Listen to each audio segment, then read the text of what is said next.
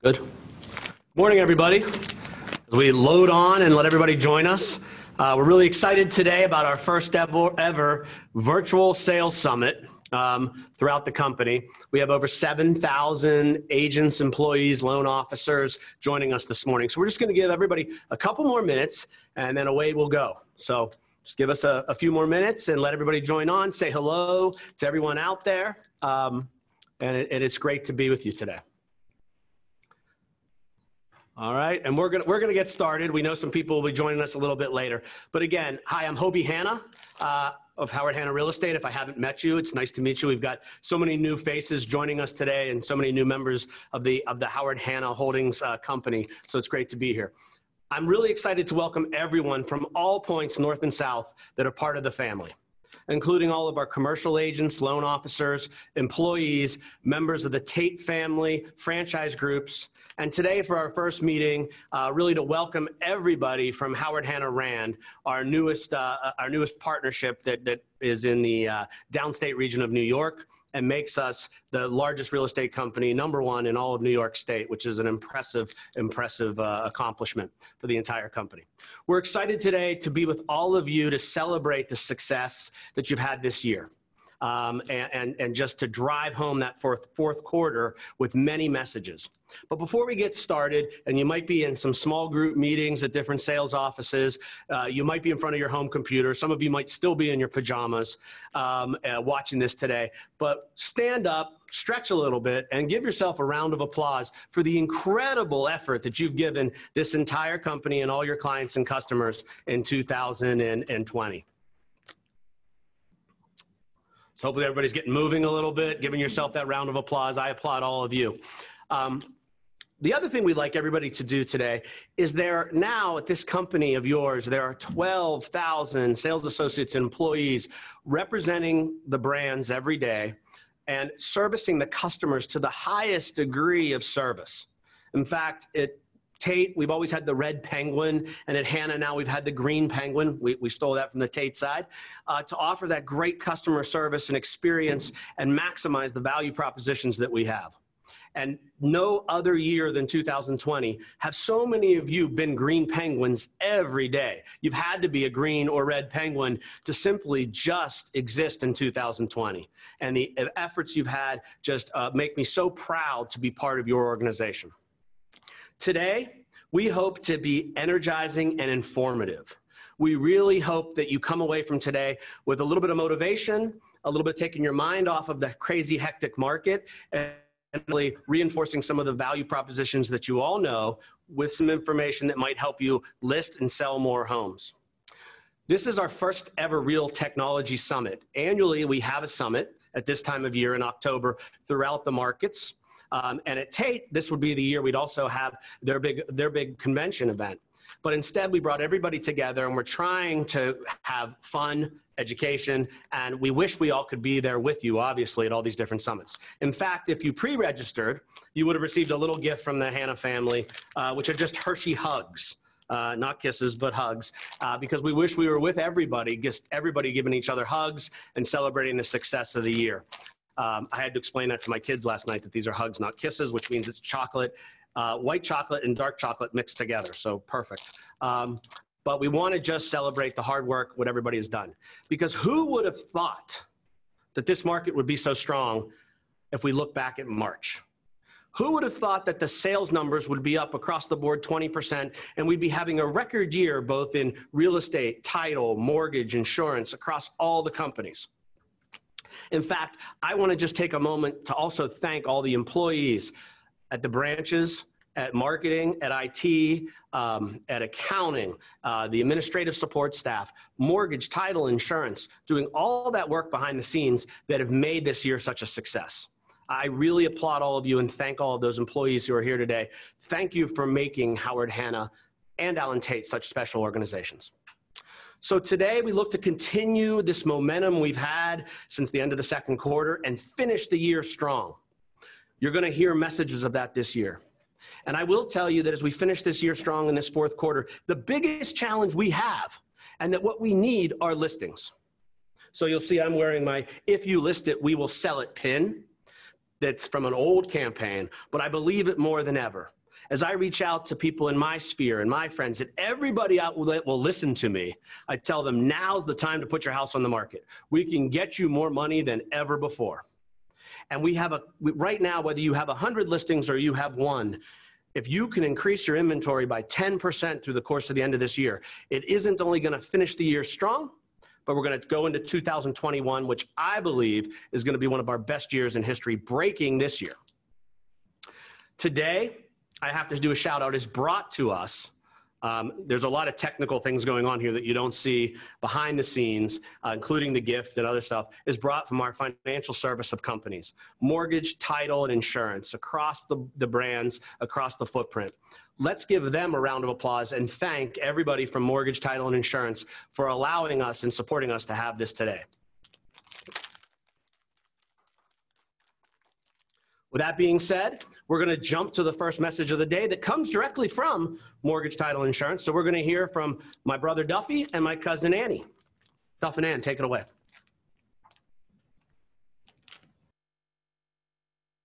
Hey, everybody. We've had a record breaking summer in the midst of the pandemic. I couldn't be more proud of the agents who have continued to refer business to our mortgage and title companies and all of our loan officers and staff working tirelessly to get our customers from application to closing. Did you know that in 2020 alone, the Howard Hanna, Allen Tate, and Rand Realty mortgage companies closed over 8,700 mortgages, resulting in over $1.9 billion in sales volume. And our title companies closed nearly 12,000 transactions, resulting in over 2.3 billion in sales volume. These results demonstrate our one team, one dream philosophy. Thank you all for your continued efforts. Hello, everyone. I want to congratulate you on a phenomenal year so far. Did you know that year to date, Howard Hanna Insurance, Allen Tate Insurance, and Hudson United Insurance have sold over 16,300 policies, resulting in nearly $1.6 billion in volume in terms of referrals, our agents and staff are our best supporters, and we are so thankful for that. Last year, this performance is what led us to be number one in closed homeowners insurance policies in the country and number three in sold home warranty policies. Keep up the good work.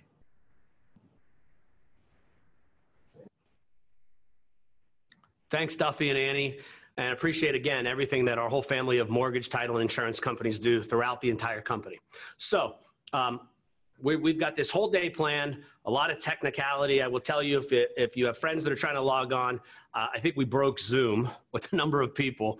Actually, um, Kate Lasor, who we all know is like uh, one of our great executive producers around here, she's on the phone with Zoom. Uh, be patient. If you're not on, you'll get there. We extended our account for today, and, and I think we have to extend it even more because so many of you are here. So we're so excited that you're here, but thank you.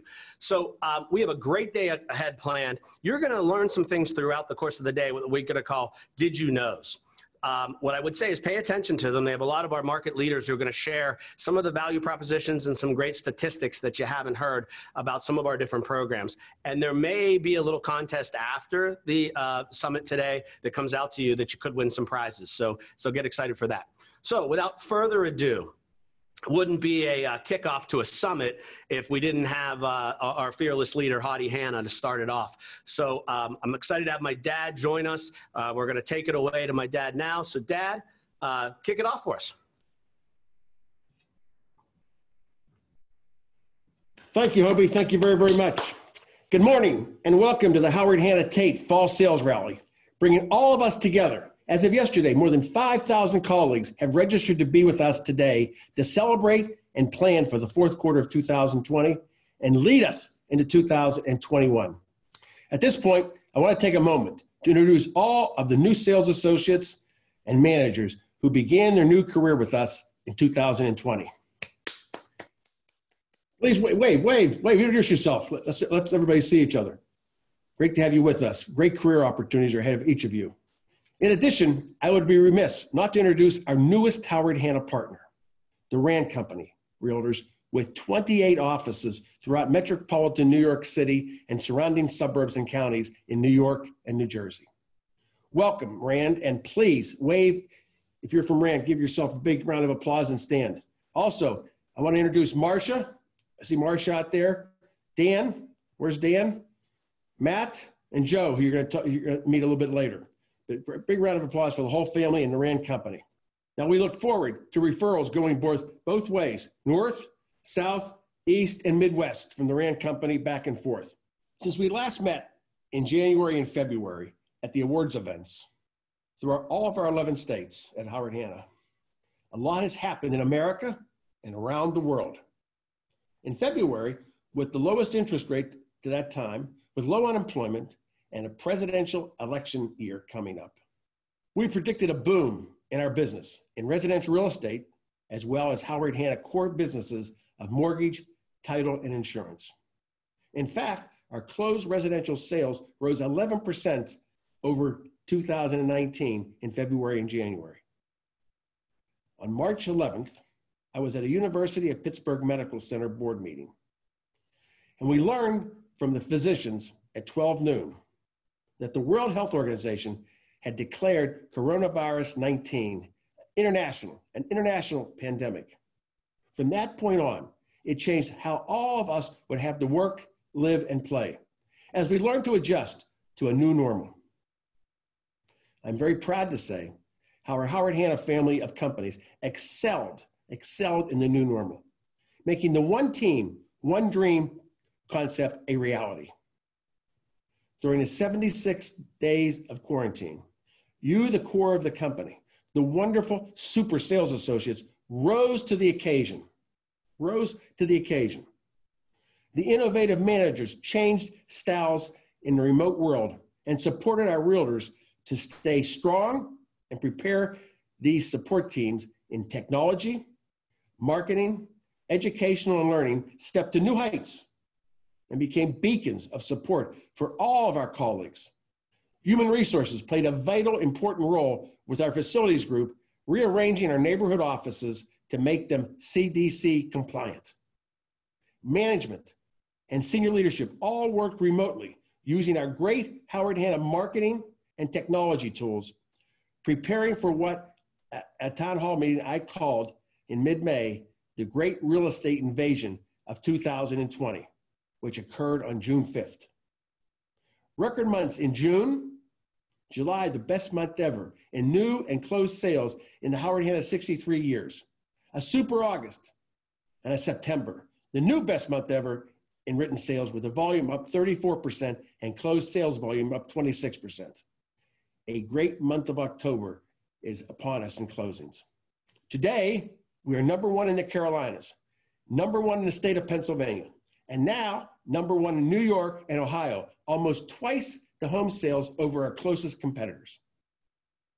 Most important, real estate is local, and we are number one in almost 200 counties around the country in Michigan, Indiana, Virginia, West Virginia, Maryland, New Jersey, and most important, in the communities of our 325 offices, we dominate in residential sales, homeowners insurance, purchase money mortgages, and entitled closings. A big round of applause to all of you. Congratulations to all of you for your leadership, pride and performance, and enthusiasm to be the best of the best in the real estate industry. I'll, I'll clap again now. Please all stand and give yourselves a standing ovation.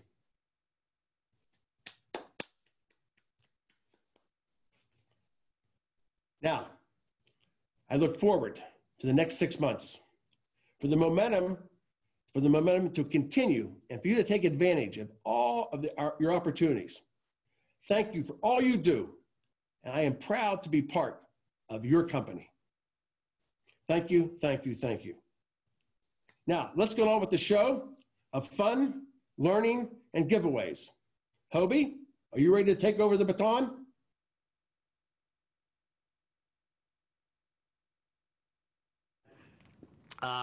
And uh, we are ready to run with that baton. So uh, thank you very much. And we are, right now, just so everybody knows, we are having a little bit of technical difficulty with Zoom. It's not anything on the Hanna side. Kate Lasore is, uh, is diligently working on that. So if you're trying to still log in, um, it, it's kicking people out of capacity. So just hang tight. You'll get on. Um, she's working on it right now. Also, everything today is recorded. And so one of the great things is through the education department, uh, they'll be able to bring out parts and pieces of today's event or the entire event if you'd like to see it, uh, even if you have to cut out because you do have a, uh, an appointment, a listing, a sale, or a closing today. So we completely understand that. So we're really excited to keep moving forward. And you're going to see, as I mentioned, these did you knows. And the first one is coming from Matt Rand, president and CEO of the Howard Hanna Rand Company. So Matt, take it away.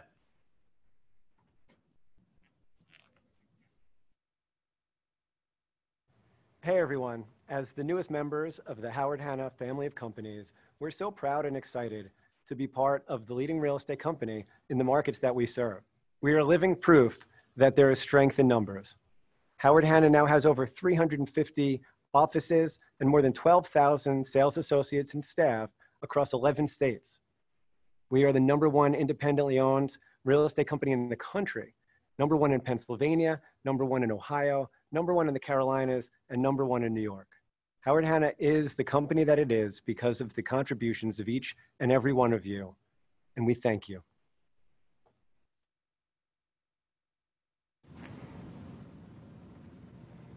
Thanks, Matt. And aren't those impressive statistics? You heard about that, that power of being number one from both my dad and from Matt. Um, and don't forget to use one of our great tools that we launched this summer, which is called Lala Point, which is actually taking those number one stories, that number one market share, and being able to share it with your age, with your customers, your clients, your sphere. So if you haven't been made familiar yet with how to use Lala Point, how you can build your business using that, please talk to your managers this afternoon and they'll share that great data. So here we go. The, the moment everybody's been waiting for, which is Aunt Helen. You, you know something exciting is going to happen. She's been waiting for this day for about five months. Uh, you, ne- you never know what Helen's going to say. So, Aunt Helen, take it away and give us that message. Hi, everybody. I am so thrilled to be with you this morning as we celebrate our Summit 220. Our summit this year is everywhere. It's not just in your local markets, but this time we're virtual like everything else we do. You know, it's funny when we started out this year, our theme was 2020 vision. 2020 vision. And what we thought in January is exactly what's happened, even though we had a pandemic. It might have changed, but we predicted our biggest year ever. And we talked about how to get there. But you know, when we were preparing for this summit today, I was thinking about what's missing. What else can we do to help our sales associates but not just the sales associates, every manager, every employee in this company do better. And one of those things is easy money. Easy money is so crazy and it's there for you. It's referrals everywhere that you want to be. So let's take a look at Hanaland. Inter-office referrals, that's what we call these. So powerful across town, but all through our 11 states with the very best sales associates in the world. That's who are in those 11 states, with the opportunity for you to take leads and give them to somebody of your own caliber, somebody that you can talk to. So, to help you do that over the next couple of weeks, as I said in my Monday morning meeting, you're going to be getting maps. You're going to be getting maps and you're also going to be getting lists of office locations. They're all on our website but perhaps we're going to make it easier for you by also putting them as part of your marketing tools so that you can easily access the people that you know, the people that you want to know to build that. But we are in the best places in the country in this wonderful Hanna land. But we're not just there, we're everywhere. And through Leading RE, we can refer anywhere in these United States, everywhere people want to be. Have you thought about the fact that the people that you buy or sell with each of them how many other people they're connected with? Just they themselves. They don't just buy one house or sell one house. They continue their career. They might buy an investment property from commercial, but they also might buy a home that's bigger, a home that's smaller when they go through their life changes. But their kids, their parents, their relatives, their friends. We know from NAR that 54% of people will take the recommendation of a family, friend, or neighbor those are the people that you have to reach out to. So they're recommending you to help their families if they move to Seattle or they move to Texas, or they move in the heartland of Howard Hanna.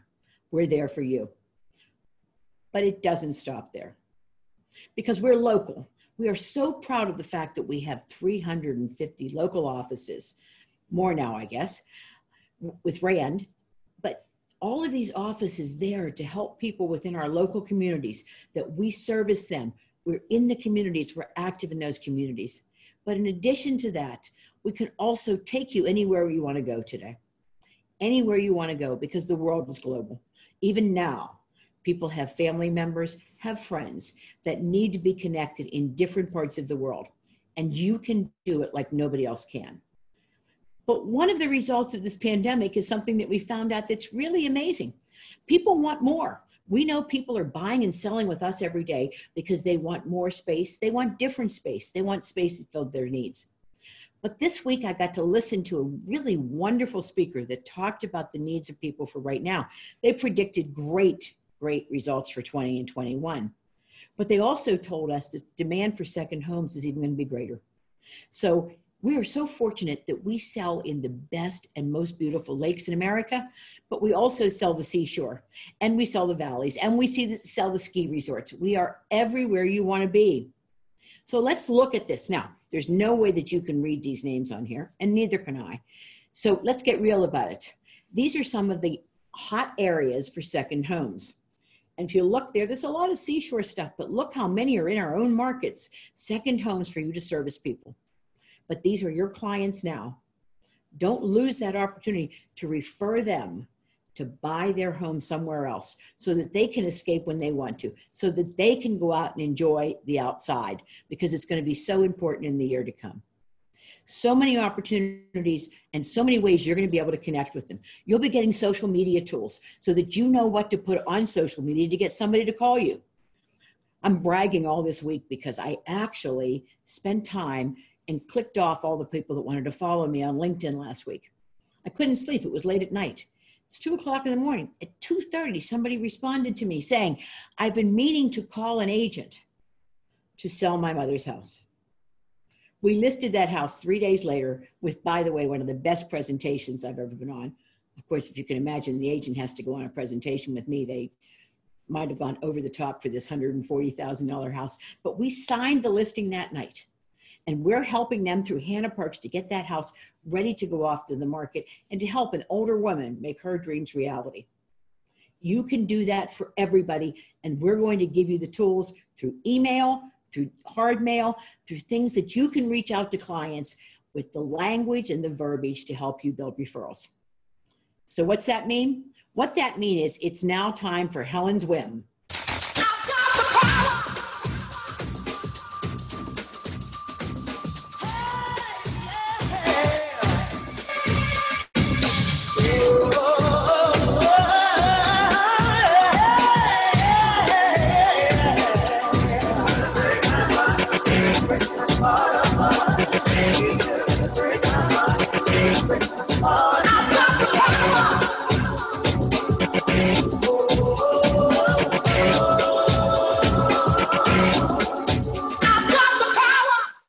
Hi, everybody. Now, in case you thought that was crazy and you're trying to figure out what Helen's Whim is, that means you haven't been with us for a number of years. Helen's Whim is pretty simple. It's either a way for me to make a fool of myself. Many years ago, I told Hoby when he was a, an agent starting out, I said, if you can't make a fool of yourself, you'll never be able to lead. So I don't mind making myself look a little bit silly all the time. So welcome to that. But also, it is something else. It's something that I just come up with. The reason it's a whim is because it's just an idea that I have. It's my choice what it's about. It's my choice what the gifts are. So let me tell you what's going to happen now. Because I am so convinced that each of you in this company, every employee, every management, every staff, every department head, and every single sales associate can earn extra money between now and the end of the year and well into next year. We're going to have a little contest based on referrals. This is the simplest contest we've ever done. All you have to do is go online and fill out the referral form in our office, across the country, across the globe, whether it's through Howard Hanna and Allen Tate, or whether it's a global referral. We're going to give you points for it. One point is one referral. You only have to have one referral to win a prize. But before we start, I always think it's a little bit unfair that people have been doing their job all year long, that have done such an incredible job, they don't get recognized. So to kick off the contest, I thought we would salute some of the really big achievers in the referral network of Howard Hanna in this past year, including Tate and Rand. So let's go with the top ones. The first one is this.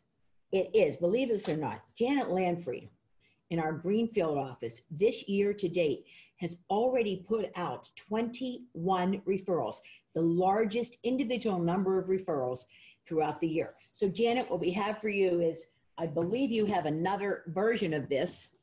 So we're delighted to give you the companion piece to the luggage that you won last year. But that's not all because we have lots of other people doing great jobs. Janet Lanfried did 19. Uh, uh, Janet did 21. But combined with that, Heather Herndon did 19, and so did Kyle Recker. So, what do we have for you, Heather? We also have the companion piece to this Rowena luggage from last year. So, each of you will have two pieces of the green luggage. And Kyle, for you, we thought about what you would like, and we think you might like a fire pit this fall so you can enjoy the outside. I don't have a fire pit with me, but we'll be sending you one. So congratulations to you, but that's not it because we also have our highest inter-office referral of the year. 3.5 million goes to Anita Sabatas from um, North Carolina. And Anita, you're going to win a mini iPad. Congratulations to you. So lots of prizes, lots of things coming. So let's not just limit it there. So what I did was I looked from each market that we're in for the outstanding achievements within that market for referrals. And so what I came up with was I talked to all the relo directors, I got the information, one from each state, and right here in this bag, I think this is my bag, don't you think it looks like me? Anyway, in this bag, I have the names. So why don't we just begin? And I'm gonna pull for the prizes that you see in front of me. If you're not familiar with Helen's Whim, you also don't know that I love to give purses and our experience is that you love to receive them. So what we're going to give today is we're going to be giving Michael Kors and Kate Spade purses. In addition to that, we have some um, earbuds and we have some cash and we have another fire pit. So lots to give away this afternoon. So let's get started. So I'm going to pull, as you can see, the names are right there. I don't know what order they're in. I'm closing my eyes. I can only pull one at a time. I should have shook them up, I guess. And the winner of this purse is Kelly Galansky from New York. Congratulations, Kelly. Let's put that back here so I don't get myself confused. And next, let's give away another purse. Why don't we? Because we've got a lot of them. So let's give away. That was that was a Michael Kors, but so is this Michael Kors. Look at this one. I really love this. It's like the perfect size to use for almost everything. And both of those will fit into your normal things. So let's see who won this one. Wendy Evans is the winner of this. Wendy, congratulations to you. That's great. We're thrilled that you could win a prize with us today. Thank you for all of your effort, Wendy. And next, what do we give next on my list here? Well, let's give away another fire pit. Sandy Sikovic from Commercial has won a fire pit. I have to get rid of the ones that won so I don't mess up. Here's Wendy? All right, next on my list is, how about $200 cash? Anybody like $200 cash? Now notice, see, we're so good. It's a Howard Hanna gift card. It comes in this little card right here, but it's real cash. You just don't know it, but it's real cash. $200. And that goes to, we got two commercial in a row. Diana Wisnet from Commercial in Ohio, and Diana had a referral to um, London, by the way, as well as referring herself. That's one of the reasons that she's in here. That was one of the credit points if you referred yourself um, for a staff member. But Diana bought a new house this year and sold her house, so exciting for her. Okay, how about another purse? This time, let's give away this great Kate Spade bag. Sue Rodehaver wins that bag. Congratulations, Sue. Okay, moving on here. What do we have left? Oh, looks like we have more purses left. Well, how about we'll go to a wallet? We just gave a purse. Greta Welts from Virginia wins the wallet. I've got lots of stuff left yet, but I haven't. Um, I, do I have more? Oh, I have more names. Don't worry. There's more. If you haven't won, you still have a chance today. Kelly Brim from New York. Kelly, you get this purse. Continuing on, let's draw for, should we draw for this big purse now? I think so, because I think it's really great. We're getting down to the end, and so that is Sandy Spector from Goshen office, and she was she was just added at the very last minute, Sandy. So you got a great Michael Kors bag there to celebrate, and you're not surprised it's green, right? Mm-hmm. And we're down to the end of my drawing names here. Let me sure I make everybody here that I got. And I have given everything away except it looks like I have not given away yet. Did I give this away? I, no, I didn't. They're telling me. Okay, so this is going to go to Brooke Cranston, who also won today. Now, I seem to have extra gifts, so don't worry. Those extra gifts will go out next week also. I just want to make sure I have everybody that was on my list that should win and to say thank you to all of you. Um, and um, but look what's left and look what's in store. We've got great purses still coming and uh, great gifts. We've got electronics, more fire pits, more fun. And so uh, I'll see you in two weeks and you'll never be able to tell what I do. All you have to do is find a referral and put out the form. Thank you. Hello, everyone. Did you know that NAR statistics show that more than 90% of home buyers search online and that statistic continues to trend upward? Allen Tate and Howard Hanna combined have over 250,000 client accounts in RealScout. Those buyers completed over 530,000 web sessions and marked over 140,000 properties as homes they were interested in. Keeping your buyers searching on howardhanna.com and allentate.com is more important than ever, and using RealScout is a great way to enhance that experience. The industry first property comparison feature automatically displays listings side by side and room by room, providing an outstanding online search experience for our buyers. There are many things we do not know right now as we face new challenges, but we do know that RealScout is an advantage to our potential buyers and an advantage for us. Hi, everyone. One of our most impactful product releases that we've had in years was the release of Engage CRM earlier this year. Engage has allowed you to manage your listings, your contacts, and automate your workflow in order to help you stay on track to meet all of your sales goals.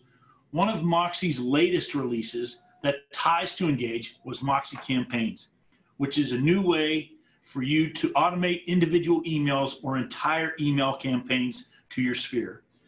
Did you know that this year alone, between all of our companies across all of our states, We've already sent over 2,200 campaigns and nearly 1.5 million emails through Moxi campaigns alone. So keep an eye out for more campaigns and email options in the coming year. And if you need any help at all, reach out to your manager or marketing to find out more about Engage CRM and Moxi campaigns. Take care, everyone. Hey, everyone. As you know, we always strive to be the listing leader in all of the markets we serve.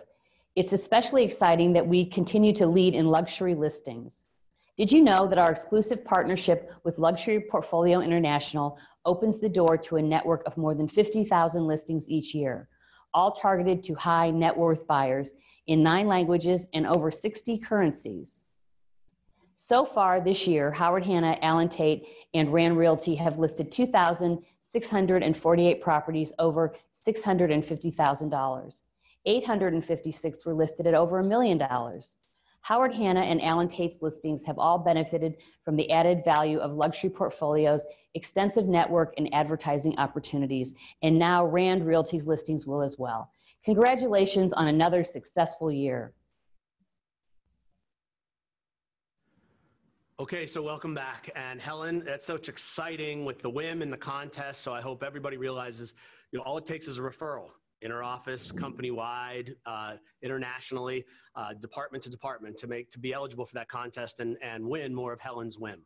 And thank you to those Did You Knows, which were all great, including Chris's at the end there about um, homes of distinction and luxury portfolio. In fact, look this week on Friday in the Wall Street Journal, and we're taking over the Wall Street Journal. We have a full page ad uh, in the Wall Street Journal. First time we've really done that to market the luxury $2 million plus homes that we have throughout our whole marketplace. And hopefully something we'll be doing on a more regular basis as part of our partnership with Luxury Portfolio International. So, uh, real quick, just as a housekeeping item, I, I know people are frustrated out there because we're frustrated here as well. And I just want to be clear um, on a couple of things. Kate Lesor and Matt Latchett, our uh, CMO, are working with Zoom. We had actually, in advance of this event, uh, upgraded our Zoom account from a 3,000 account to 12,000 people. Um, paid for it in advance, taken care of it, and um, Zoom uh, shut us off at 3,000. Uh, we're working with that right now to figure out why they can't turn us on. Uh, you, if you saw Kate and Matt right now, they're, they're probably more frustrated than some of you and some of your friends who can't get on. So what I'd ask you is just to reach out. We're going to send an email from the entire company. We'll air this again in its entirety for people to see. Um, and we also, as I said before, are recording everything so we can have little snippets set out. So thank you to everybody who's reached out to me via email or text in the uh, in the last 20 minutes to make us aware. We are aware, and if you just, I'm sorry, that's the the problem of live TV, I guess, and technical difficulty of using an outside vendor. But um, we, we, will improve and we will uh, effort to go on. And so we will go on at that with uh, my good friend Pat Riley, who's going to share about finishing strong in the fourth quarter. So it's going down to Charlotte. Pat, take it away.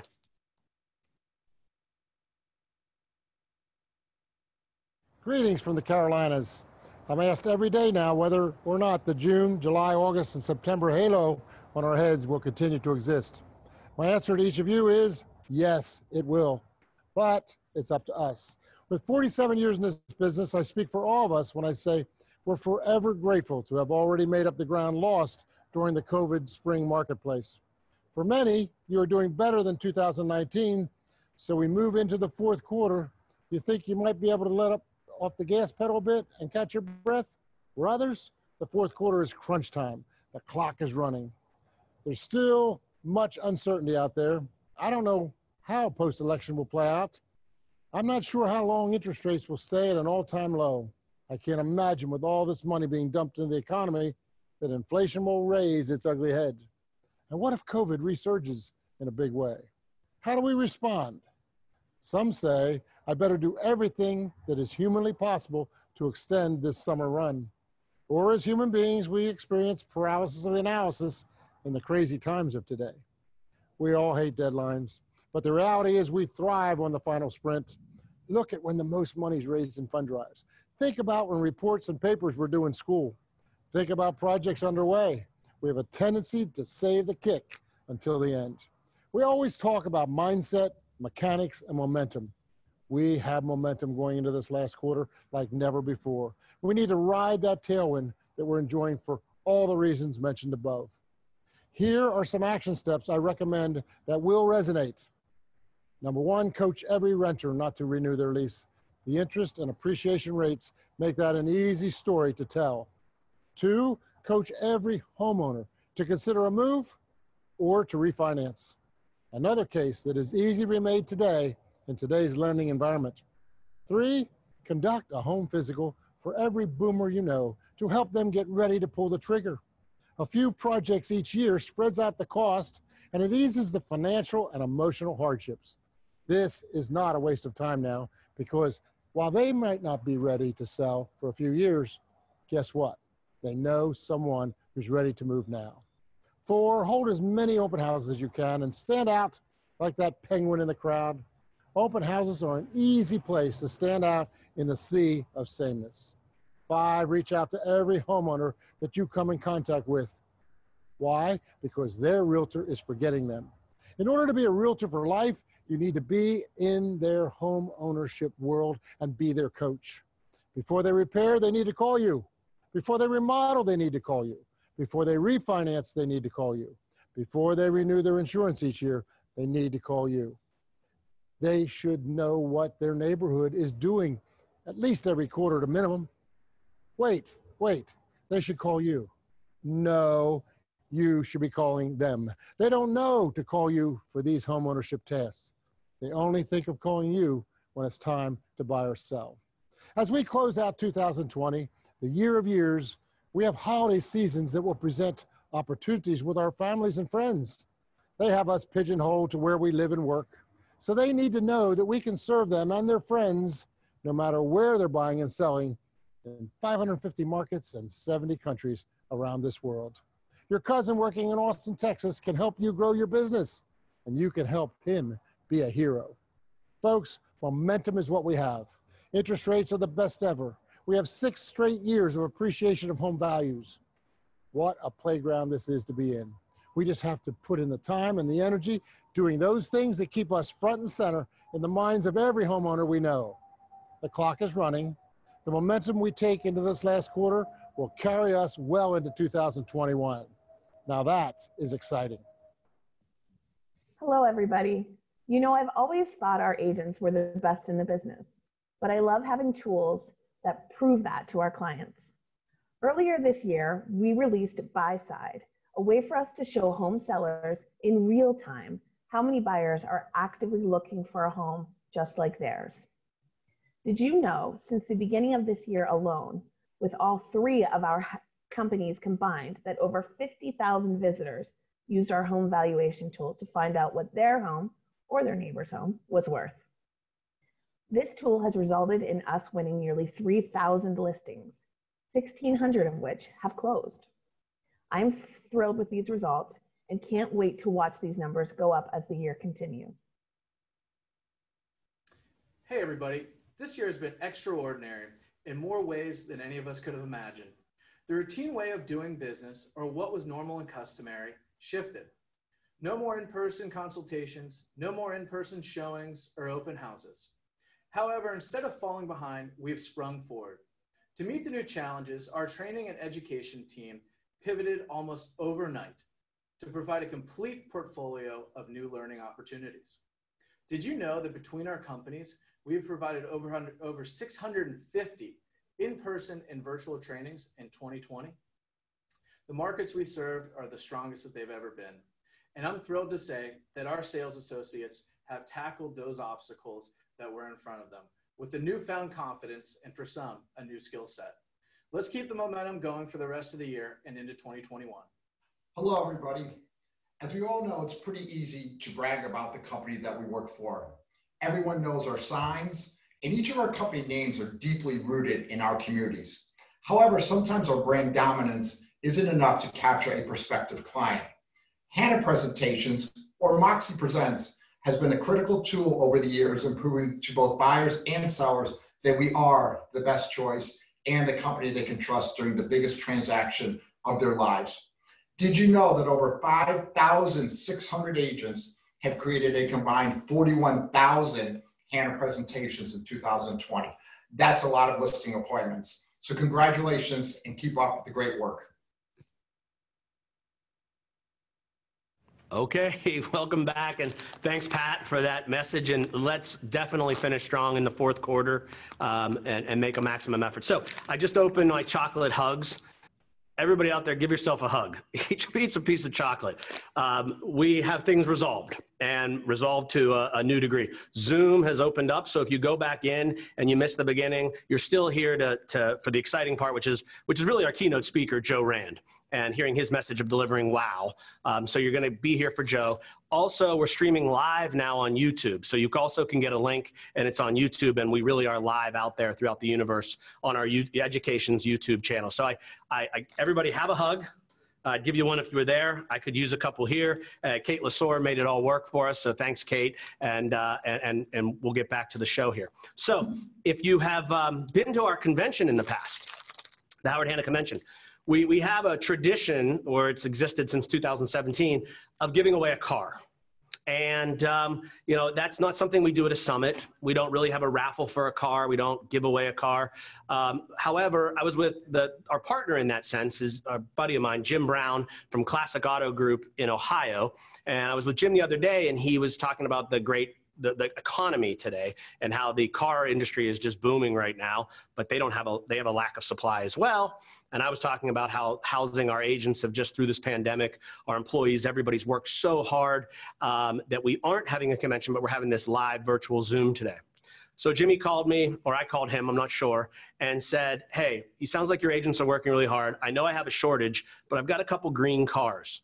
And he said, How about you raffle off a car at your, uh, at your event?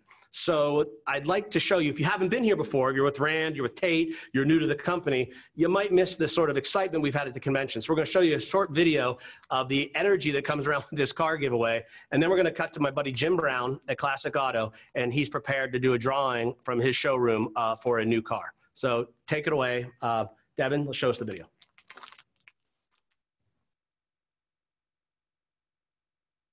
Make it look easy.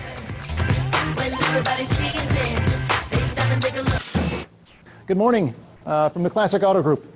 My name is Jim Brown, standing on the Classic uh, Cadillac showroom here. Um, and everybody from Howard Hanna, I want to say thank you uh, for inviting uh, us to your sales convention again this year, virtual sales convention.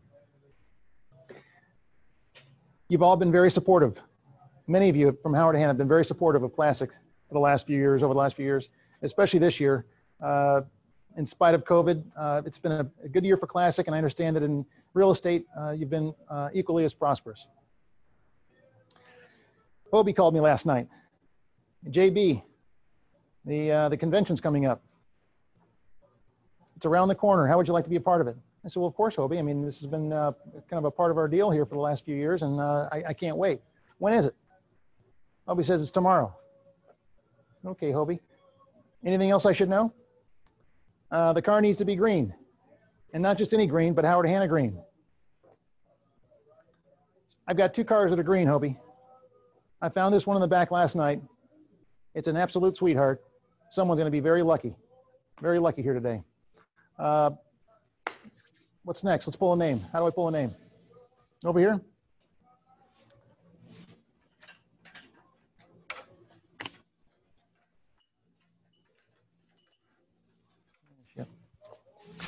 This is a $45,000 car. I'm going to pay for the lease, the payments, the taxes. I'm not paying for your insurance. I'm not paying for your gas or your speeding tickets. That's on you. Uh, if you don't want the car, I'll give you some cash. I think, I think we're going to give you $7,000 in cash uh, as an equivalent. But I think you're going to like this car. Cindy Durkin from Crossroads, Buffalo. Congratulations. This is your brand new car. Here we go. Is that green enough for you, Hoby? Cindy, enjoy the car.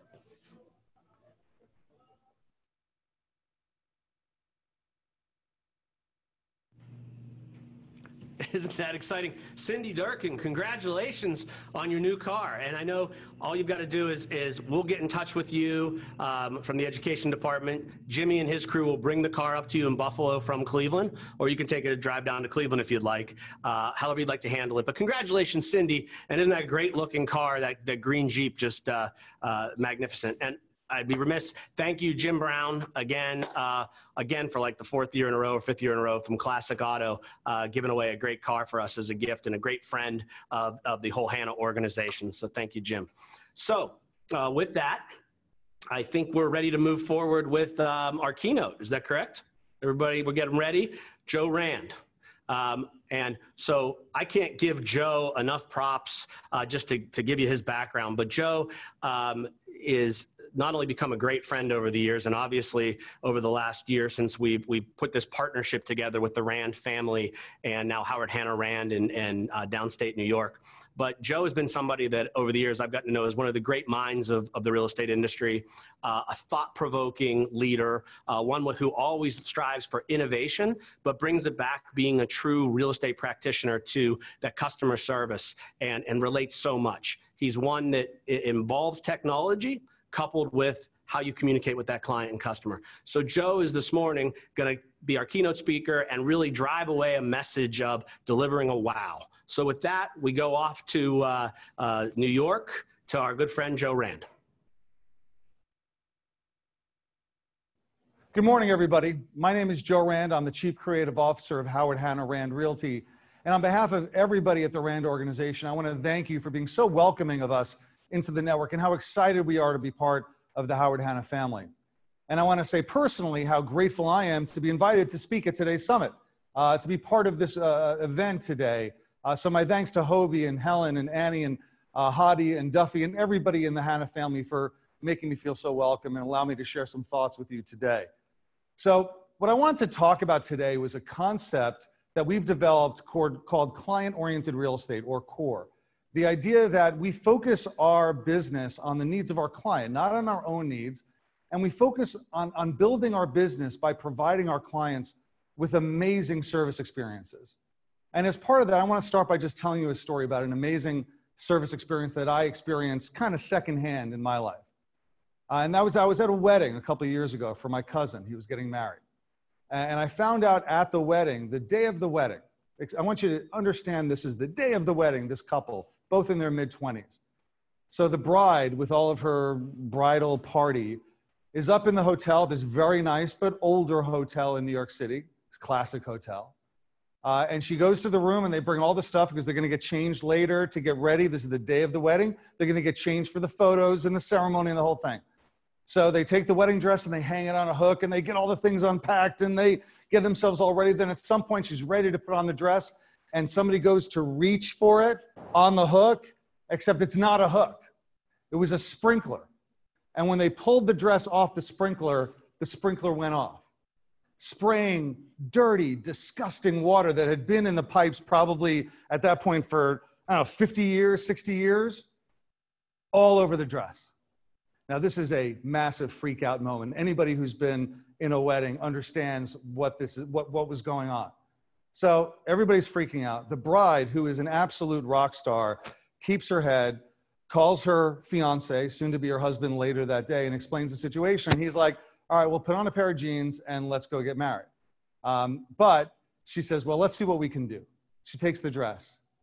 She brings it down. It happened that she'd bought it at a uh, a bridal store in Manhattan, only a cab ride away. So she takes the dress, the whole party piles into cabs, they get all their stuff, and they bring it down uh, to the bridal party. They call on the way to say, they, the dress, there was an accident, it's been sprayed with dirty, uh, black, inky water. We want to see if there's something you can do about it. They bring it in, and they bring it to the guy, and he says, listen, there's nothing we can do. I mean, we might be able to get it out eventually, but there's no way you can get married in this dress today. And her face falls. And you can imagine the feeling of this woman on her wedding day, the dress she picked out months ago, the dress she's been imagining herself getting married in, ruined.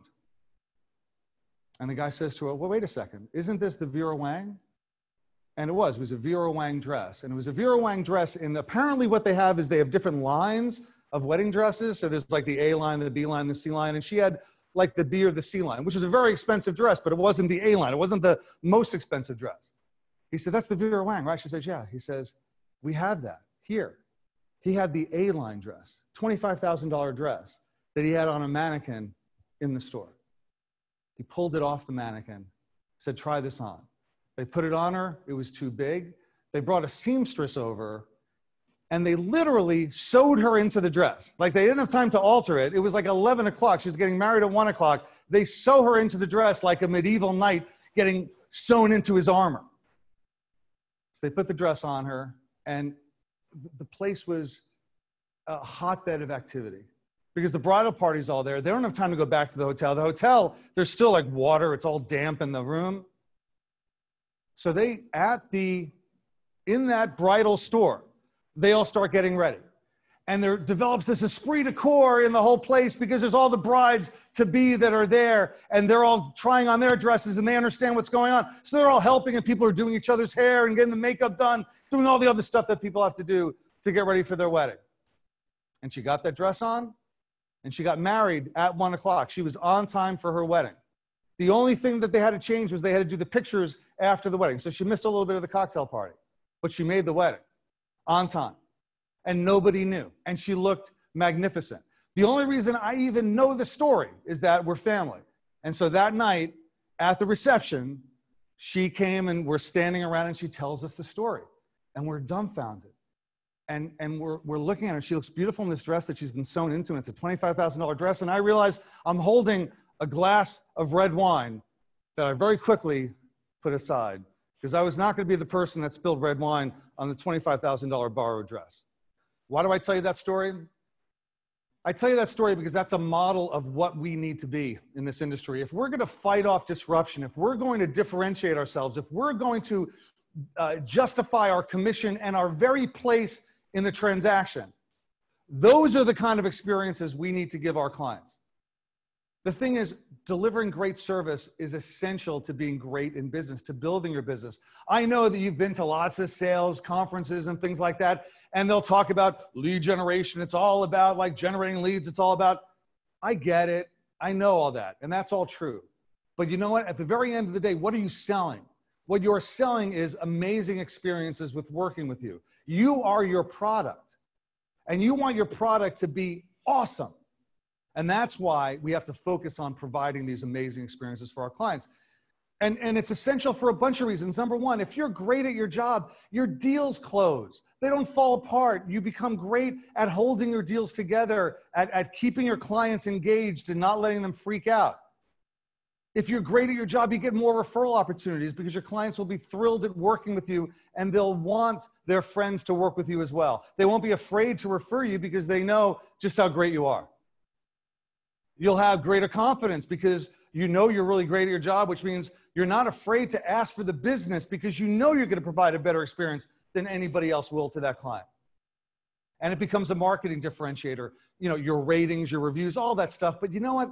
The, the big differentiator becomes all the people that you can you can point to to say, tell you what, here are my last three clients. Call any one of them. I'm not giving you I'm not giving you a list of, of my three favorite clients who had the best experience with me. Here's the three most recent ones. They all had an amazing experience. All tell you all about it. Becomes a marketing differentiator. Talk about how great you are. And if you're great at your job, you will have good metrics like your listings will sell more than anybody else. They'll sell for closer to the asking price. All of that stuff. And lastly, the reason we want to be great at our jobs is that it's a more satisfying life. It's a better way to live your life. It's waking up every morning knowing you're making a difference to other people, that you're making them happy, that you're giving them the best of what you can do. That's a great way to wake up every morning. That's a great way to live your life. Now, of course, in real estate, we have some very specific challenges to providing great service. One of them is what I call the S word, the idea that we are in sales. Because people have this idea that when you're in sales, it's all about razzmatazz and tricking people and using scripts and dialogues to manipulate them and things like that. That's not what you do. That's not what you do on a day to day basis. What you do on a day to day basis is you provide services to people. Yes, you do sales when you're on a listing presentation, you do sales when you're negotiating, you do sales at certain times when you're working with clients, but most of the time when you work with clients, you're providing them a service. You're not trying to sell them. When you go out with a buyer, are you trying to get that buyer to buy that house or that house? No. You're there to guide them through the process, to show them the houses that are out there and help them make their decision but you don't push it on them. You're not like a, you're working at a timeshare that you're trying to get them to buy the timeshare. You don't care what they buy. You just want to help them through the process and establish the kind of relationship that they'll buy with you. The other challenge we have is the independent contractor uh, model that we have in this industry, which makes it sometimes very difficult for brokers to be able to establish guidelines for agents to follow that we feel we have to be hands off because everybody's an independent contractor and they have to do it their own way. Well, you know, yes, that's true in some cases, but you know, when it comes to providing a great service experience, when it comes to providing happiness to our clients and, and, and being fair and, and being uh, consistent, I think brokers can establish those standards and agents can establish those standards for themselves and then follow them. And then the other challenges we have is a lack of training, that we have lots of training in this industry about sales, and just very little in this industry about how to provide great experiences for clients. Think about all the courses you've taken at conferences about sales techniques and scripts and neuro linguistic programming and all that stuff, and how little training you've gotten in how do you actually raise the raise the level of service you provide how do you provide client service experiences how many classes do we have on customer service at all in this industry and finally, I, and, and, and finally, it's the nature of the transaction. Our transactions are difficult. It's difficult to provide great service with so many moving parts, particularly because a lot of those moving parts are things that we don't have control over, like the mortgage and the title and stuff like that. And then finally, the most dispiriting part of this is that consumers sometimes don't reward it. Sometimes they're willing to work with their friend of a friend who doesn't really know anything, or their friend from the country club who sold one house last year You know, or, the, or the person who happens to be at the open house when they walk in at the right time. We have in this industry whole lead generation systems that are built upon the idea that the client might not be that choosy. They might just take who's in front of them. What we want is we want choosy clients. We want clients who expect the best because that's what we're going to provide for them. So we want customers to reward it and we want to differentiate ourselves. And that's changing because consumers are getting more savvy about the agent they work with. So that's becoming less of an issue. And, and if that happens, that's good for the best agents because the best agents, the ones who provide great service experiences, they'll get more clients. So I want to talk to you about the concept of bringing the wow. And that's the idea of providing such an amazing service experience to your clients that they go, wow, wow, that was pretty great. And, and what people think of when they think of great services, they think that it's all about attitude. They think it's all about enthusiasm. They think it's all about, well, it's all about effort. You have to really want to do a good job. And effort and attitude is definitely part of it. But a big part of it, a bigger part of it, is actually having technique, is actually having the skills and the knowledge to provide a great service experience. Because you know what? If I'm going to get a surgery, my doctor, I'm, I'm, i want my doctor to be enthusiastic about doing a great job for me, but it's really important for me that the doctor actually knows what she's doing, that the doctor actually knows how to do the surgery. Same thing's true in our industry. It's not, it's not enough just to have the right attitude. It's not enough to be enthusiastic. What you need is you need to design systems that create, mechanically create great experiences and then opportunities for you to bring the wow. So let's talk about the different ways that you can do that. And we'll start with you have to listen to what your clients are saying. What do I mean by that? Well, years ago, when I was first working in real estate and I first had, after years of being a law professor and a bunch of other things which didn't make me any money, I had money. And I needed to invest the money in some reasonable, smart fashion. So I started to, I decided I have to meet with a financial planner. So I went, set up an appointment, me and my wife to go meet with a financial planner. We go to his office, we sit down with him, and I'm expecting to get like a PowerPoint or something that he's going to try to convince me to invest my money with him. He did none of that. He sat down, he had a pad of paper, and he started asking me questions. He started asking me, Hey, Joe, you know, where do you want to be in five years? Where do you want to be in 10? Joe, what do you know about financial instruments? How well do you know equities? How well do you know fixed income? Um, what are your biggest concerns about your money? What are your biggest fears for the future? What are your biggest hopes? What if you had $10 million what would you do with it? All these kinds of questions and questions that honestly i never even really asked myself. And then he goes to my wife he starts asking her questions. And she starts answering them and she's saying things i've never heard her say things i never knew about her. And this went on for i don't know about an hour that we're, we're doing this and he's asking us questions and we're talking then he's following up with more questions and as the hour went on, what I discovered was something very interesting. I started to trust him. I started to genuinely trust him and believe in him and, and feel good about him and, and be interested in working with him. Not because of anything he said, but because he showed an authentic interest in me. And not only that, by asking me questions and getting me to, to communicate all of my inner thoughts and whatnot, he was building credibility. He was building rapport with me in the best way possible by asking me questions and letting me talk about myself.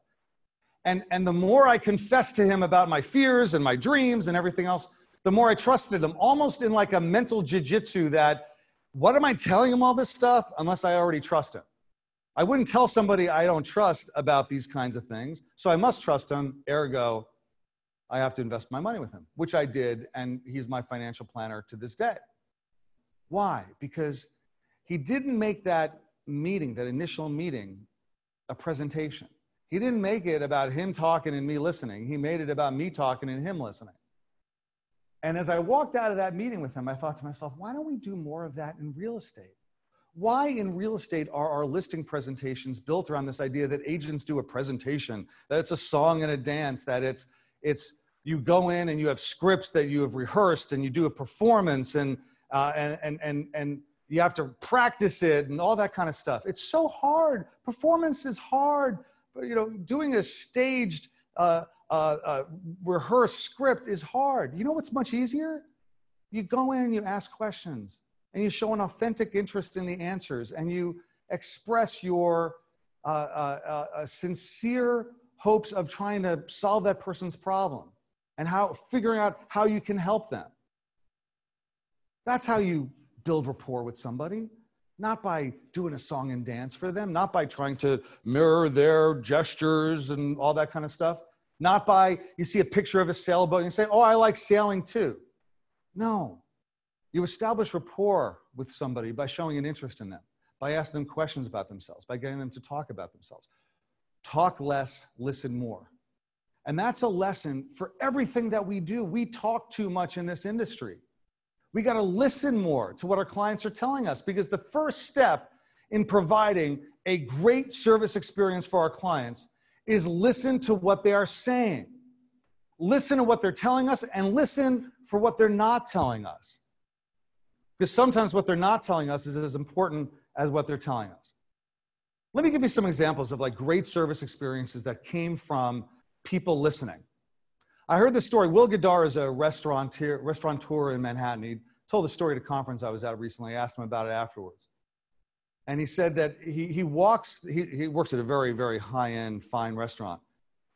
And he always walks the floor and he listens. And he'll go and he'll refill the water very, you know, very casually and not like, but he's listening to what they're saying. He wants to hear what kind of experience they're having. He wants to know, is there something he can do for them? And he goes to this one table and it became clear from the conversation that it was a group of people who had come from out of town to go on a restaurant tour of Manhattan. They'd been there all week and they'd done breakfast, lunch, dinner at different restaurants every day. And this was their last meal. They'd saved it for last. And as they're talking, one of them says, Yeah, we pretty much had every meal in Manhattan except, you know, a dirty water hot dog. You know, the kinds of dirty water hot dogs that you can get on the street corner in Manhattan. They're terrible. I mean, they're, they're called dirty water hot dogs. They're literally made with the water from the wedding dress thing that I told you about before. They're awful. But they're authentically New York and they're an interesting experience. So they were, they were talking sort of like wistfully about the fact that they never got their dirty water hot dog. So he listens and he hears. And he goes back to the kitchen. He sends somebody downstairs to a stand to go buy a couple of hot dogs. And they come up and he takes the hot dogs and he puts them on a plate and he kind of elevates them a little bit, you know, so they're not quite dirty water. They, they're still recognizable as dirty water hot dogs, but they're more, you know, fine cuisine. And he brings it to the table. And the people are like blown away that that he listened to them, that he had it, he went above and beyond to go get something for them that would, that would uh, that give them this experience. It was delightful. What a surprise for them because he listened. He listened. We all have to listen. I have a friend who's a broker who learned that lesson many years ago when he was thinking of downsizing an office. And in order to do it, he was going to have to go to the agents and get them to give up desks that they had. And he went to them and he said, Well, you'll give up your desk, but here's what you get if you give up the desk. And he thought that like a certain percentage of them would, would give up the desk. And he was giving them like a little bit of a bump and split. And they all took the split instead of the desk. And he had thought that they all wanted these desks. And it turns out they didn't really want the desks. That he, he listened to them when they, when, well, by giving them the option, he was listening to them, but he realized that he hadn't really been paying attention to their needs as their needs changed as the business became more virtual, more you're out on the road, you're doing things with clients. And I'll tell you a story that I, I had experienced back when I was working as an agent. I worked as an agent, my, my family's had this company for almost 40 years, and I got my license when I was 18. And I pretty much every summer worked as an agent for three months, tried to generate some leads that I could refer out or maybe even do one deal. And if I did one deal, that was like beer money for the year. And I had this one client, and she had this very weird restriction when she went, when she wanted to know about houses that they couldn't be any stairs, like no stairs, which in my market is very unusual. Most houses are two flights, two stair, two story houses, no stairs. So I'm like racking the MLS trying to find, you know, houses on one level, all capes. Like I'm showing her cape after cape, and she hates all the capes that I keep showing her. So finally, we're talking afterwards, and I'm not like saying to her, "What? Are we sure I can't show you a house with some stairs?" I don't say that. But I'm sort of trying to figure out what it is about the stairs. And what I eventually figure out was that she had an elderly mother who was not living with her, but her plan was within the next couple years, the mother was going to come live with her. And the mother had trouble with stairs and couldn't climb the stairs. And so she didn't want to buy a house that then her mother would not be able to live with her in. So now I knew, all right, well, I, it doesn't have to not have stairs. It just has to have a place where the mother-in-law or the mother could have a bedroom on the main level and not have to go up and downstairs to get in and out. Or maybe a house with an elevator if that was available back then. And eventually I found something. And because I listened. And I listened not just to what she was telling me, but what she wasn't telling me. And that's what we have to do. We have to be open. Our ears have to be open. We have to be receptive to what our clients are telling us. You know, someone once asked me when I was speaking, they said, What's the difference between marketing and sales? And I thought about it for a second. I said, Here's the difference. The difference is that marketing is the story you tell about yourself, sales is about finding out their story. When you're in sales, it's not about talking, it's not about you, blah. Sales is about finding out what they need, find out what they need, and then figure out how you're going to give it to them. That's what sales is, and that's why it's different from marketing.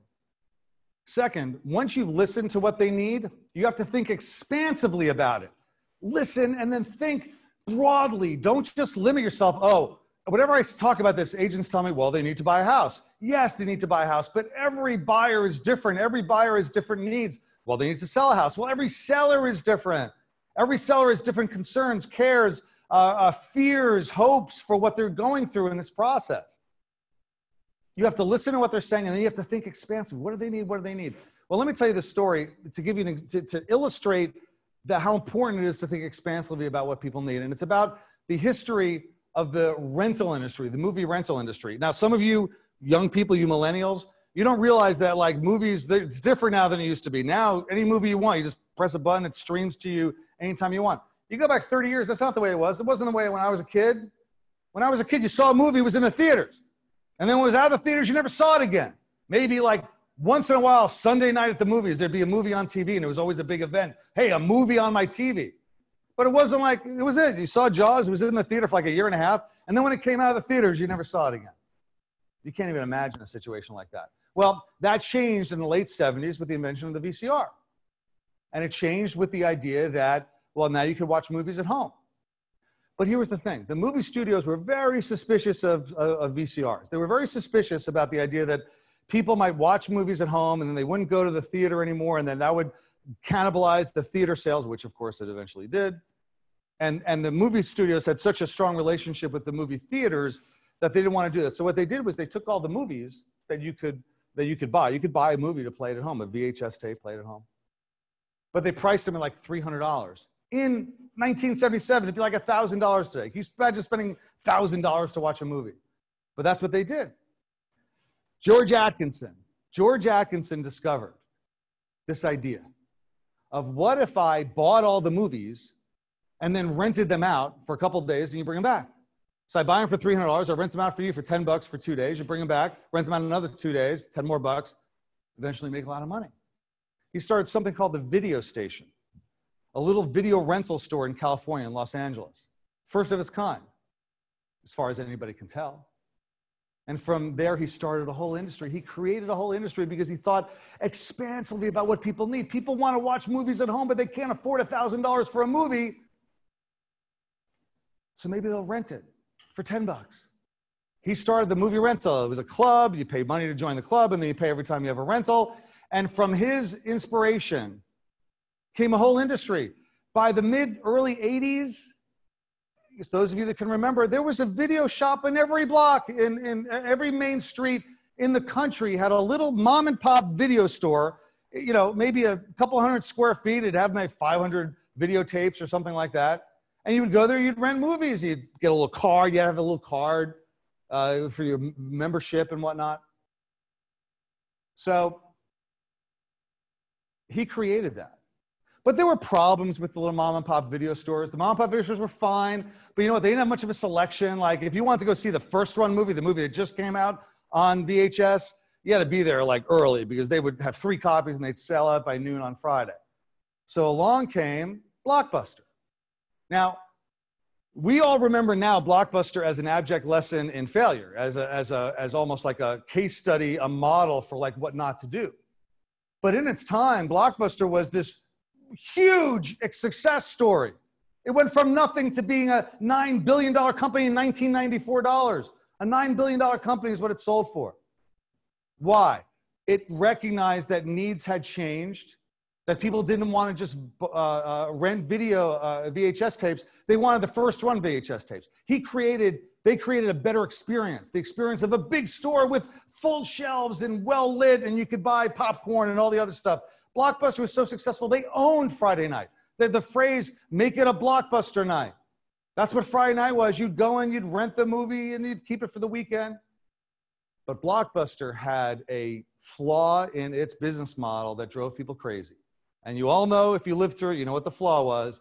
The flaw was late fees, rewind fees.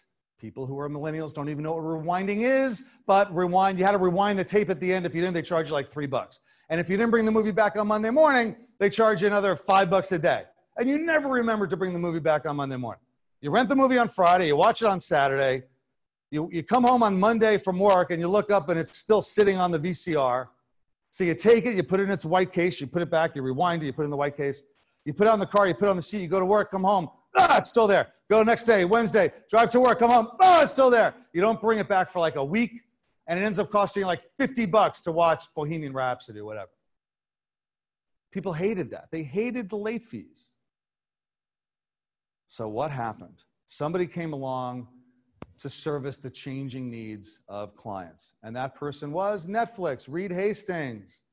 Legend has it that he rented a movie from Blockbuster and he had $40 of late fees and then he founded Netflix. It's I think an apocryphal story. I don't think it actually happened that way.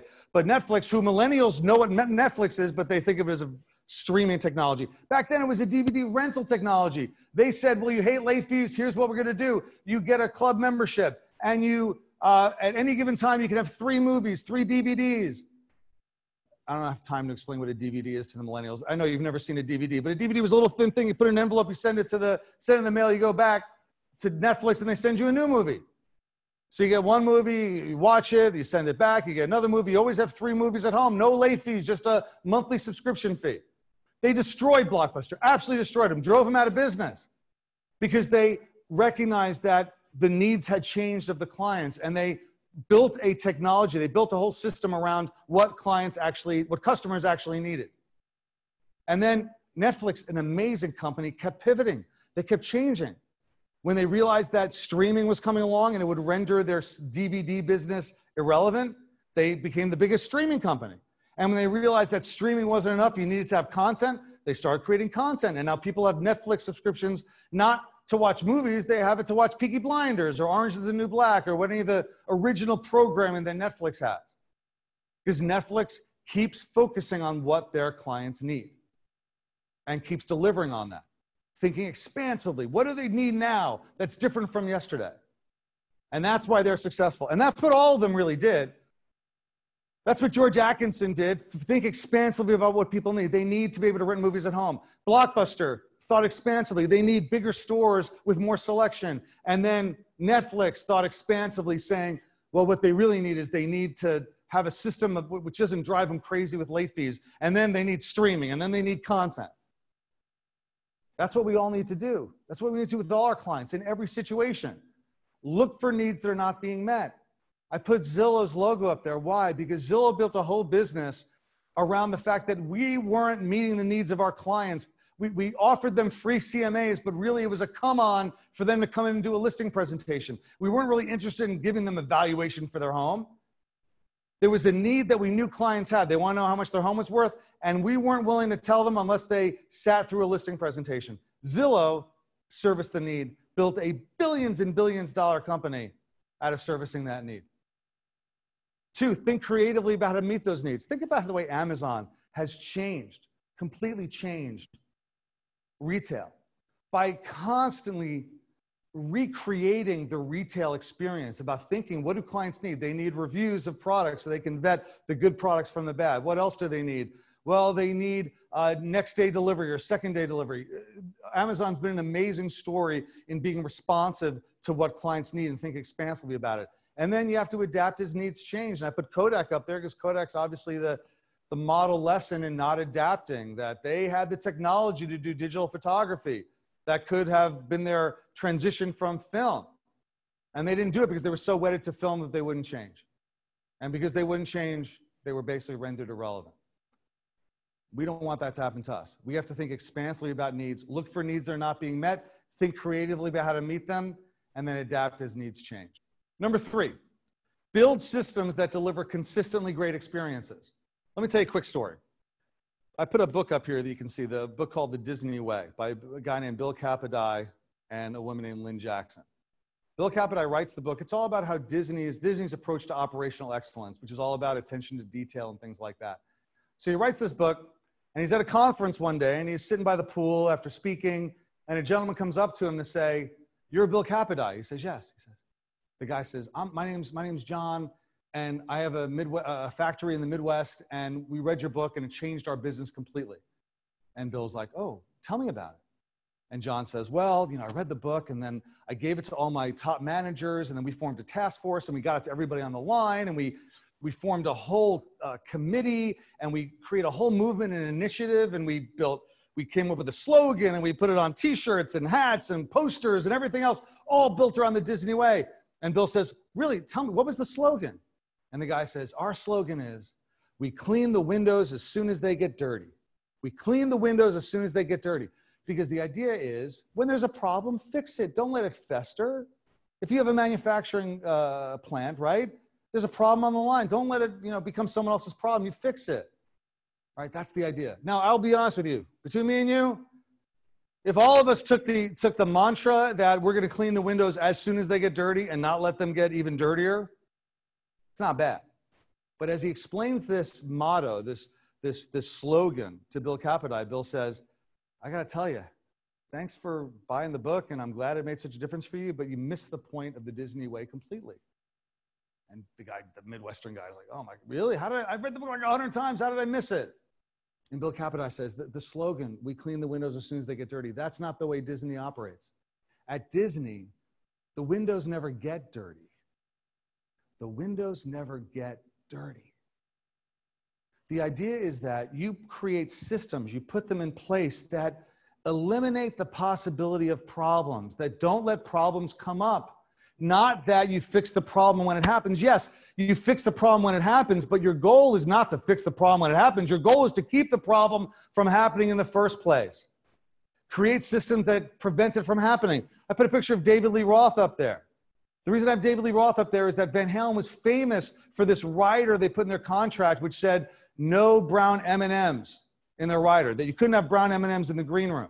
Why? Not because they were a bunch of divas, but because that was their way of testing the promoter, that the promoter paid attention to detail, that they could walk into that green room and if they saw brown m&ms they knew that that promoter didn't pay attention to their rider and their rider had a bunch of stuff in it about load bearing walls and like electrical specifications things that if they were not paid attention to would be dangerous to the band and its fans so they said we're going to put in this rider so we can walk in and immediately know is that promoter doing his job or not that is a bright line keep the windows from getting dirty Starbucks has a, has a program like that. They call it the sweep. The idea is that at regular intervals, the Starbucks people are supposed to go to the, the area where you get the cream and the sugar back when we would all do that. You get the cream and the sugar and the stuff, and they clean it and they fill everything up because you're never supposed to grab a canister and it's empty. They'll replenish the canisters at half full. That's what you need to do. Put in these prophylactic rules that keep the windows from getting dirty.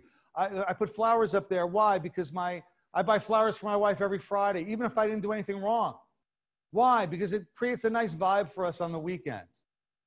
You know, if I buy flowers only when I do something wrong, flowers become associated with me screwing up. I get flowers all the time, keeps everything happy. And then I also put up something you can see called a, uh, a it's a transaction guide. We're big on checklists at my company. We, we have checklists for everything. Why? Because you follow a checklist, it keeps your attention to detail. It keeps the windows from ever getting dirty. And that's what we have to do. We have to keep the windows. We have to create those standards that create a bedrock of great service. Then, number four, create magic tricks that surprise or delight. Once you've established these prophylactic rules that provide bedrock service that keep the windows from getting dirty, start getting creative. Start looking for opportunities to do the magic tricks, the things that are going to delight people because they surprise them. Why do I have a picture of an iPhone there? Because about 10 years ago, I was with a group of people at a conference, at a real estate conference, and somebody had just gotten the new iPhone like a week after it came out, which had Siri. And none of us had ever experienced Siri or anything like it before. Now, it's mostly an annoyance. Like when I hit Siri, it's almost always an accident. Then it's speaking at me. I don't want it to speak at me. But back then, it was this amazing novel thing.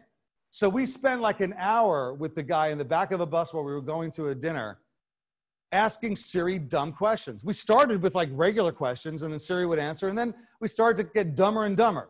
You know, Siri, do you love me? Siri, what's the meaning of life? You know, Siri, will I meet, you know, predictions, things like that. And every time Siri had like a clever answer. And it was delightful. We had so much fun with it.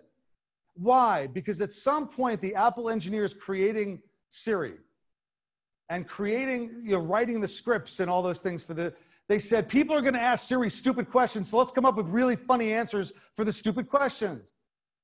And they created that whole model. Now you have Alexa, you ask Alexa to sing, Alexa sings a song. Google Assistant does the same thing, but Siri was the first to do that kind of stuff. And it was great. It was delightful. It was a magic trick, right? Just because they thought, hey, let's, let's try to give clients something fun here. That's what I think of as a magic trick. What's another magic trick? I went to the Four Seasons years ago. I check in, it was like 10 o'clock at night. I go to bed, I wake up, I go to breakfast with my wife. We walk into the breakfast room, and the person at the front says, Oh, hello, Mr. and Mrs. Rand. Welcome. How did she know my name? Well, I've since discovered that the Four Seasons really emphasizes this. Like they put they put bonuses based on this. Like you are supposed to know the names of the guests at the hotel. And they'll give you like they'll they'll Google you and find your pictures on Facebook and put them up and they're they're sort of in the backstage areas of the hotel. Here's all the guests, here's their names so they can recognize you by sight. But it's a skill that they develop, it's something they teach that's important. They value it and so people do it and it's delightful it's amazing it's a it's a it's a magic trick it's what i call the deliberate wow it's something that you put it in place and it mechanically engineers this wow factor because when he when when she asked she said hi mr and mrs rand i went wow it was cool now it didn't change my life it wasn't like the most amazing experience ever but it was a cute little trick and it was done because the people put in place procedures that would generate that wow mechanically. That's the point. You can design these things. You can make them. It's not about, oh, I'm really, I really want to do a great job. It's all about enthusiasm. No, it's about thinking creatively about what your clients need and then giving them that and prov- creating systems that generate it, both as a Windows never get dirty way, but also as you know, cool things that make them happy. Another one, the surprise wow, the Gramercy Tavern. If you make an appointment at the Gramercy, a reservation at the Gramercy Tavern, they ask you, is it a special occasion? It's just a check off their list. Like when someone makes a reservation, you ask, or is it for a special occasion? And that's fine. But you know what happens sometimes? I make a reservation today. Why is my making a reservation? I make it for November. Why November? Well, it's our anniversary. So I make it. They say, is there a special occasion? Oh, yeah, it's our anniversary. Three months later, I go to the restaurant. I come in. I say, oh, uh, Rand party of two, eight o'clock. And they say, Oh, Mr. and Mrs. Rand, happy anniversary. Wow. How do they know it's my anniversary? How do they know? Like, it could be kind of creepy if it was in the wrong situation, but like, the idea is you feel flattered. How did they know that? And then you remember they asked you the question. It's such a neat trick. Oh, I know how they did it.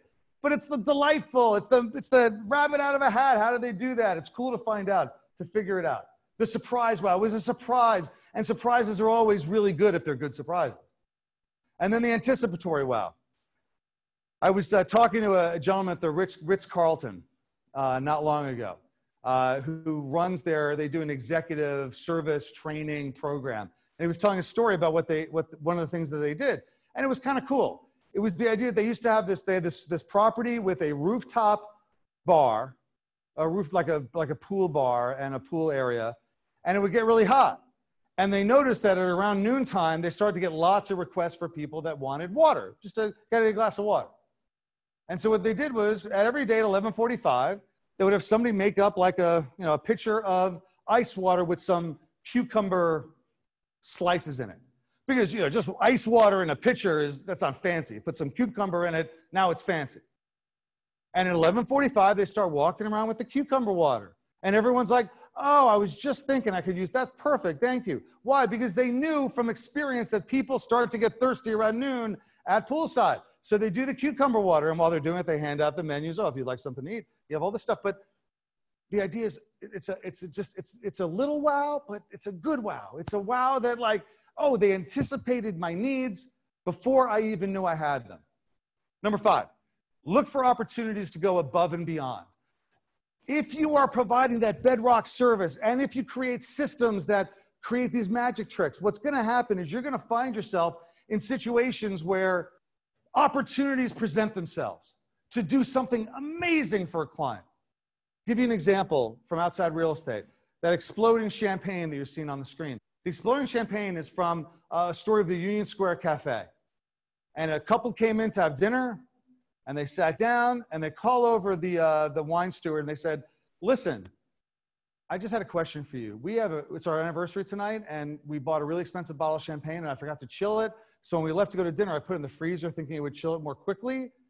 And now I'm thinking to myself, maybe that was a mistake. And the wine steward says, yeah, yeah, that was a terrible mistake. You should never do that. He says, oh, and now, you know, dinner's ruined. They just ordered. What is he going to do? He's going to go back uptown. And the steward says, hold on, let me get the, let me get the manager. Manager comes over, says, he explained the situation to me. Listen, we don't want you to interrupt your dinner. If you're okay with it, if you give us the keys, we'll send somebody to your place and we'll take the champagne out of the freezer. Guy looks at his wife, says, if you guys want to do that, it's fine by me. They give him the keys. But half an hour later, guy comes back, manager comes back, here's your keys. Everything's fine. The champagne was fine. They enjoy their dinner. They go home. They come home. They open up the fridge. They're ready to celebrate. And not just the champagne, there's a note from the manager saying, Thank you for celebrating with us at the Union Square Cafe. There's a little box of chocolates. There's like something else there. That's a wow. Why? Because the person looked for the opportunity to go above and beyond. And then there's the story of Joshy. Joshy's the little stuffed animal that you see there on the screen. Joshy was this child's, this like four year old's favorite stuffed animal. If you have kids, you know how important that stuffed animal is, that you should have like 10 of them, nine of them locked in the basement. So when you lose one, you just pull one out of the basement. They didn't do that. They only had the one Joshy. So when Joshy got left behind at a, I think it was a Ritz, it was a Ritz Carlton in uh, the Carolinas, they get home, they realize no Joshy. They were there for the weekend. They come home, no Joshy. Kids freaking out. They call up the hotel. They say, listen, is there any chance someone found a stuffed animal, a little brown, I think it's a giraffe, in our room? They get a call back a little while later. We found Joshy. Oh, ah, thank God they found Joshy. And, they, and, and the guy says, please, can you send it back next day air? I'll pay for it. The manager says, we're already doing that. Please, it's, it's, it's our pleasure to do it. We'll take care of it. Next day, package comes. There's Joshy. Joshy's back. But there was something else in that package. Because when they called up to say, could we get Joshy back when they knew they had found him, they explained to the manager of the hotel that they had told the kid that Joshy had stayed behind for his own little vacation. He'd stuck around at the Ritz Carlton. So when Joshy came back, the manager had arranged for this for them to get pictures taken of Joshy doing stuff at the hotel. He's getting a tan. He's playing with other stuffed animals. He's riding a golf cart. He's getting a little massage. He's playing, he's hanging out with the security crew. I mean, wow. Wow. How cool is that? How great is that? Not just that they found the bear, that was awesome. But they took the opportunity to create the delight that they knew the kid would have when he saw the pictures of Joshy having fun. Finally, you got to treat mistakes as opportunities. You got to treat something goes wrong. That is the best time for you to create a great experience. Because you know what? When, when I ask people, audiences like you, but when I'm actually with them, when I ask them to tell me about great service experiences, 90% of the time it's the story of a recovery. It's the story of something that went wrong and then it got put right. And that's what was memorable is that you went from the lows to the highs. That's what was great about the story. So I'll tell you two stories like that. One quick one United Airlines. Guy was going to see his dying mother, dying mother. And he had to make a connecting flight, and his first flight was delayed. And he was going to miss the connecting flight. And he starts crying in his seat, in the plane. He's crying. Flight attendant comes over and says, Is everything okay? Can I do something? He explains to her what's going on, that, that they were late and he had to make a tight connection. So the flight attendant calls down. He gets off the plane. They have a thing for him right there. They say, We got to get you to gate 18 right away. They get him to gate 18. They, they'd held the plane for him. They held the plane knowing what was going on. They held the plane for him. Think he remembers that? And I'll tell you a story from my own experience. We had a listing, like listings you have. And in that listing, there was a woman who had a treasured Lladró collection. If you've never had a client with a treasured Lladró collection, you know how much people treasure their Lladró. It's little porcelain figurines from Spain. And she had a collection in a glass cabinet. And the agent told them you should probably take the Lladró and store them, like as a staging matter, but also as a safety matter. They didn't listen, they didn't want to put their Lladró away. So, month or two into the listing, one of the Lladró turns up broken. And the owner is apoplectic and angry at us, saying that it's our fault, that we didn't supervise showings, and that's why the Lladró was broken. Now, it turns out we found out that on Sunday, like on Sunday, like two days before she discovered it broken, she'd had a big party with a bunch of her grandkids and stuff in the house. That's when the Lladró was broken. Because you know, you know, as well as I do, someone's going and showing a house, they're not opening up the cabinets and picking up the Lladró.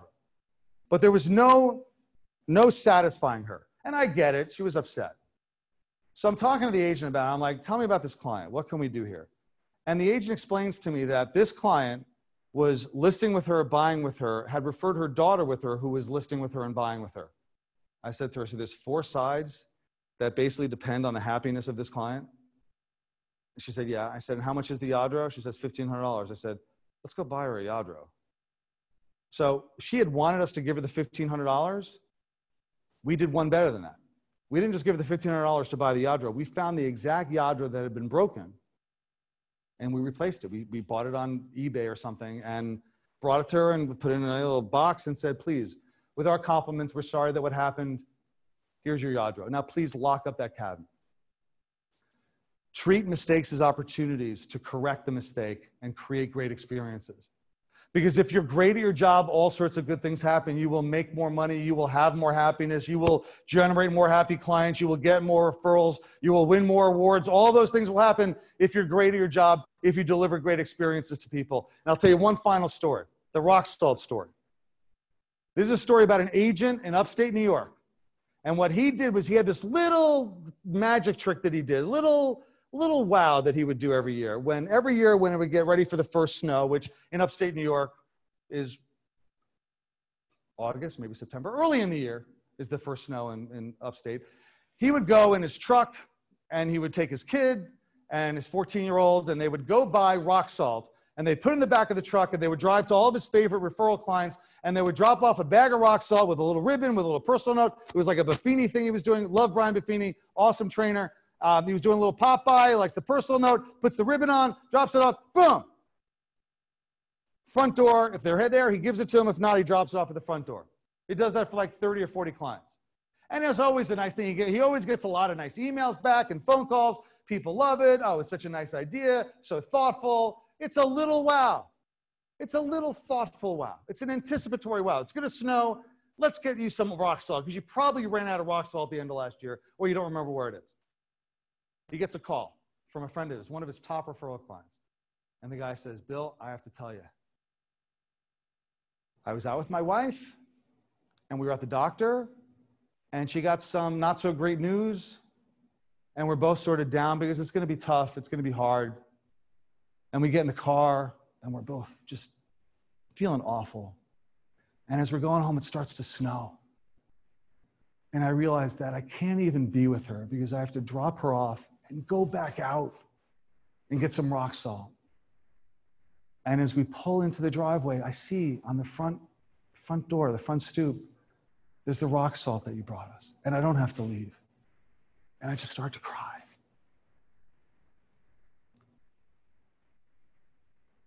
I've told that story a hundred times. I wrote about that story in my book. How many times do you think that guy has told that story? The, the, the, the guy who found the rock salt on his stoop. That this agent, doing something small, doing something just a little wow, became a huge wow. Why? Because the fact is, my friends, if you're always thinking about what other people need, if you're always thinking expansively about what they need, it just, those kinds of things happen to you. It makes you a better agent, but more importantly, my friends, it makes you a better person. It makes you better at your job. It makes you better at life. It makes you better. I, you know, since I started teaching this and living this, it gets into your bones. It gets into your DNA. It changes you. You, you instinctively and, and, and, and reflexively think about what other people need and how you can service those needs. And it's not just in business, you do it. It's made me a better husband. It's made me a better father. It's made me a better citizen, a better friend, a better brother, better son, a better person. And that's what I wish for all of you. Yes, I want you to be great in your business. And one of the ways to be great in your business is deliver unbelievable experiences for your clients. But it's not just about that, it's about helping you become better and happier as a person. Thank you for watching. I hope you enjoyed it.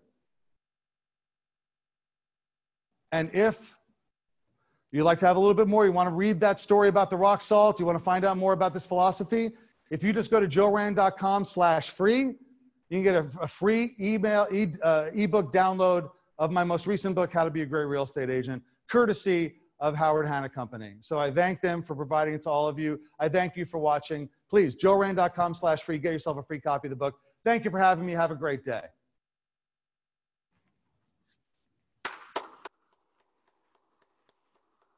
Wasn't that amazing? Wasn't that amazing? And uh, Joe, thank you. Not only is it great to have you speak uh, for the whole group today uh, and share your wisdom, but wanted to let you know that one of the advantages is we always, as we grow, as we have new partnerships and merge with new people, it's not only marketing and it's not only technology, but it's great minds like Joe Rand now being part of your company uh, across the whole footprint, uh, being there to help with our education, help with our motivation, and being able to speak to everybody. And now we, we can see um, one part of why the Rand family is so wonderful.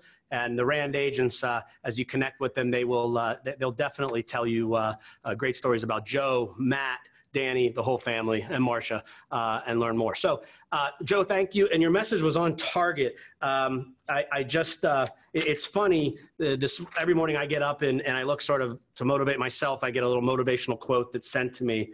Um, uh, and one of them that I, that was embedded in that message today, embedded in that customer service, that wow, was my quote this morning that comes to my phone was change before you have to and uh, was a Jack Welch coach, quote from GE. And change before you have to, um, which means whether it's change your service level, add a little, add a little extra, make that rock salt story your story somewhere or just even if we have to change like netflix has changed and through this pandemic come out with better use of all the tools and programs that we have the value proposition that's offered to everybody uh, throughout the entire organization. Please take advantage of it and take advantage of the education in weeks to come. Uh, it was Joe. You know, I, I, I, you probably saw the comments, but there's some great comments that I just want to share that um, um, that that are that are out there. Um, so much energy and information from Tessa Carroll. I could listen for hours from Sonia Halstead. Uh, Joe is a super great speaker from Joseph Klein. Great presentation, Margaret Dobbs. Um, and uh, uh, just uh, incredible, incredible quotes from many, many people. Even even they're running you for president now, Joe. A couple people, but but that's out of Lakewood, Ohio. So they're they're trying to run anybody for president. So um, anyhow, um, don't forget you can get the book. The book's a gift that you go to joerand.com uh, backslash free and then you click on the book that you want to choose. Uh, Joe's other book is uh, Disruptors, Discounters, and Doubters, written a few years ago. Um, when you look at the, the world that we're in today, uh, and so many people coming in to try to think they're discounting our fee, disrupting our business, I'd suggest you get that book too. You read it. Um, it's one of the best real estate books I've read that really shows that you, the real estate agent, the employee, the, the mortgage originator, the title professional, the property manager, the commercial broker, all the disruption that wants to come out there, you make the difference in the service you provide, in creating the wow, in being a green or red penguin. Um, so don't be afraid to get that book too if you'd like, and uh, you come away with a message. So finally, this has been a great day. I appreciate everybody putting up with some of the uh, technical difficulties that we had with Zoom. I will say this, you can watch this whole presentation in its entirety. We'll also splice it out that you can watch bits and pieces. If you missed any of it, uh, this afternoon, Kate Lasore will send out an, a link to where you can find it. I've even suggested that we could air it in its entirety like a recorded TV show, somewhere between four and six, and then you could decide to Zoom me later for a cocktail because, quite honestly, this has been enough stress this morning on making all the technical stuff work. So, again, we wish we could be with all of you, the whole Hanna family, every member of our leadership, the Rand family, Pat Riley, the Tate family. Thank you to everybody who put effort in today. Thank you for everybody who's worked so hard for the last year to make 2020 so special. And let's finish that first fourth quarter strong. Thank you all. Have a great rest of your day.